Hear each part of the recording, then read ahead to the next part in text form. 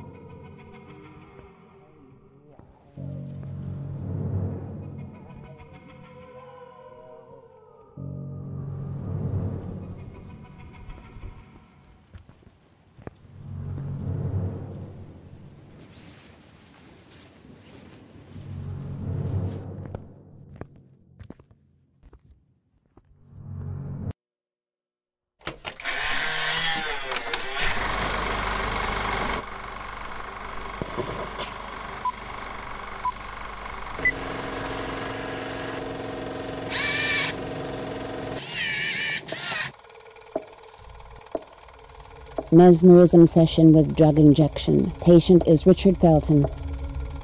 Mr. Felton, I remind you that you were sedated with a dose of phenoxyl and submitted to the constant swing of the metronome.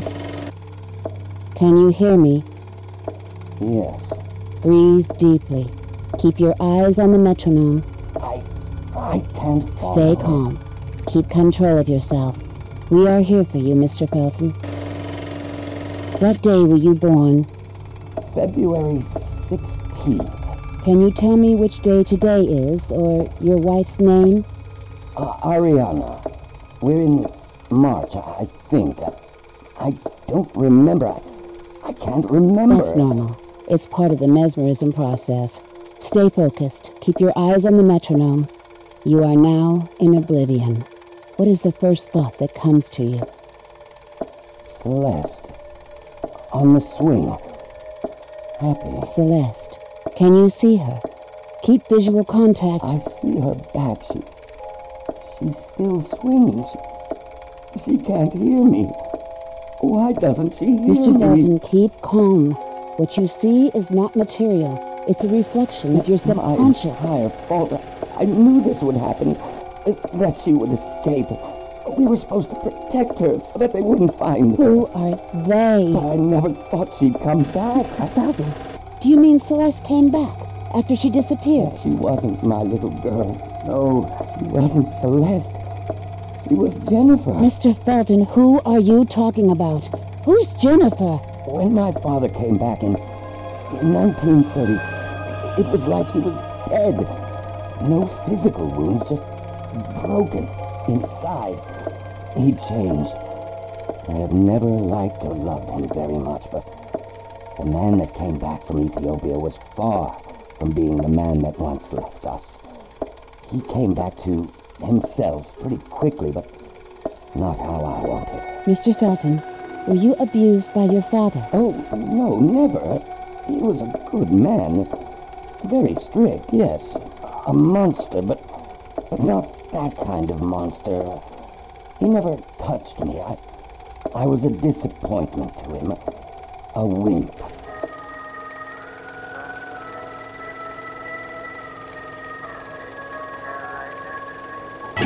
never touched my daughter. Do you think your daughter's disappearance is related to your relationship with your father? Never been born. My father, he, he hurt me to prevent me from her.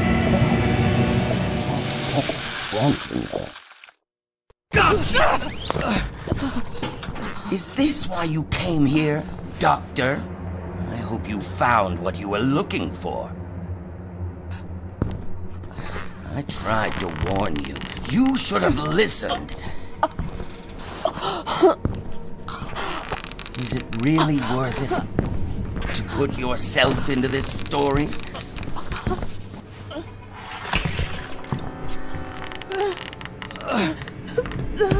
Stop, you bitch!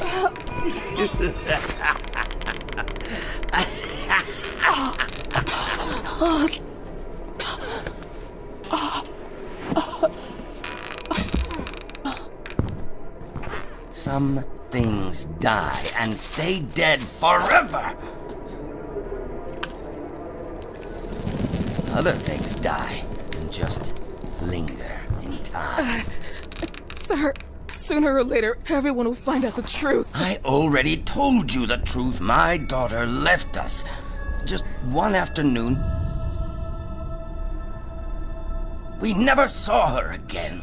Fucking liar! You said that she came back, didn't you?